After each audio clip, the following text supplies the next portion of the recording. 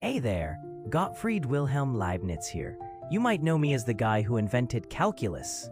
Yeah, sorry about that math homework. But today, I want to talk about something that might actually blow your mind why anything exists at all. So here's a question Why does your phone exist? Well, it was manufactured by a company.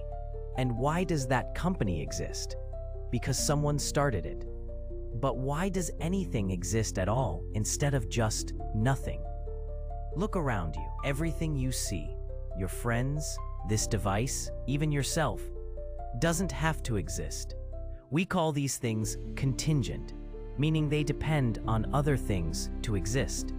You depend on your parents, who depend on their parents, and so on. But here's where it gets interesting. Imagine a stack of books, where each book explains the one before it.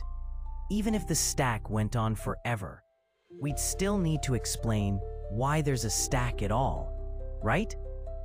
This is my argument from contingency. If everything is contingent, depending on something else, then ultimately there must be something that isn't contingent, something necessary that exists because it has to. Think of it like this. If you're borrowing money from a friend who borrowed it from their sister, who borrowed it from her roommate, the money had to come from somewhere originally, right? Someone had to actually have money to lend.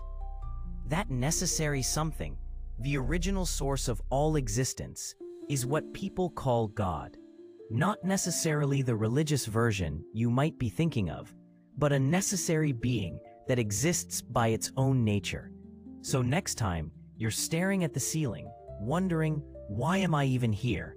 Well, according to me, it's because something necessary exists that makes everything else possible. Pretty cool, right?